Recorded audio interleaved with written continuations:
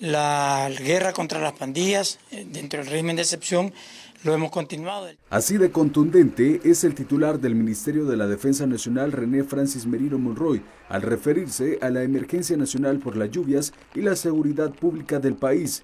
El trabajo es 24-7 para cumplir con la orden del comandante general de la Fuerza Armada, Nayib Bukele, de eliminar por completo a las pandillas. La Fuerza Armada y la Policía hemos dividimos ¿no? nuestros efectivos, damos prioridades y de esta forma hemos logrado salir con las dos actividades más, más grandes de estos últimos días. Agrega que la reciente estrategia, el cerco de seguridad en el municipio de Comasagua, en el departamento de la Libertad, ha permitido desarticular clicas que atentaban con la vida del pueblo salvadoreño.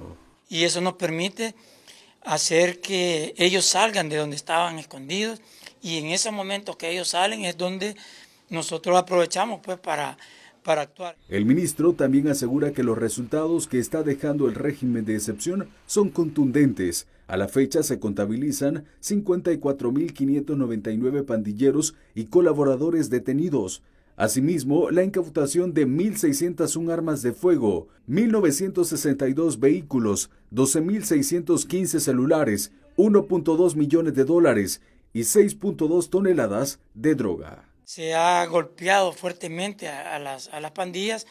Estamos atacando no solamente ir físicamente a, a, capturar a los pandilleros, sino también atacar todas esas fuentes de financiamiento. El régimen de excepción fue aprobado el pasado 27 de marzo de este año en respuesta a la última alza de homicidio registrada en El Salvador. Sin embargo, la efectividad de esta medida ha llevado, a solicitud del Ejecutivo, que la Asamblea Legislativa lo haya extendido hasta en cinco ocasiones, manteniéndose vigente hasta la fecha. El Salvador y Centroamérica han sido golpeados por la tormenta tropical Julia. Diez salvadoreños han fallecido, incluyendo cinco soldados que perdieron la vida en el cumplimiento de su deber. El gobierno emitió una alerta temprana sobre los posibles estragos de la tormenta.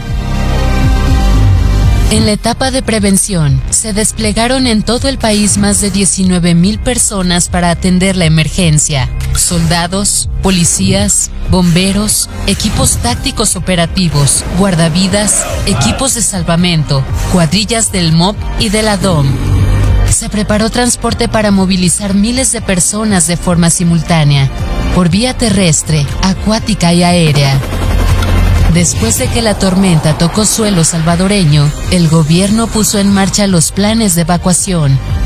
Resguardó a las personas afectadas en más de 100 albergues equipados. Realizó muchos rescates de personas y hasta de mascotas. También atendió deslaves, derrumbes y zonas que quedaron sin energía en jornadas 24/7. Ahora el gobierno sigue con la etapa de restauración, habilitando vías terrestres, removiendo escombros y reconstruyendo infraestructura, mientras continúa la asistencia a personas damnificadas con el resguardo en albergues y la apertura de centros de acopio. La tragedia pudo haber sido más grave, pero este gobierno continúa haciendo lo que corresponde y seguirá trabajando para salvar vidas ante cualquier amenaza. Bueno, bueno, bueno, ya que estás aquí, simplemente te voy a pedir dos cositas antes de que te vayas. Primero que nada, dale like ahí abajo. Segundo, compartí este video, ya sea en Messenger, en WhatsApp, en Facebook, en donde tú quieras. Al hacerlo me estás ayudando a mí a que siga dedicándome a subir contenido a este canal y así haces más viral mis videos y llegan a muchas más personas que les puede interesar este tema. No olvides suscribirte si no lo has hecho. Yo soy Douglas y sí, este es mi canal.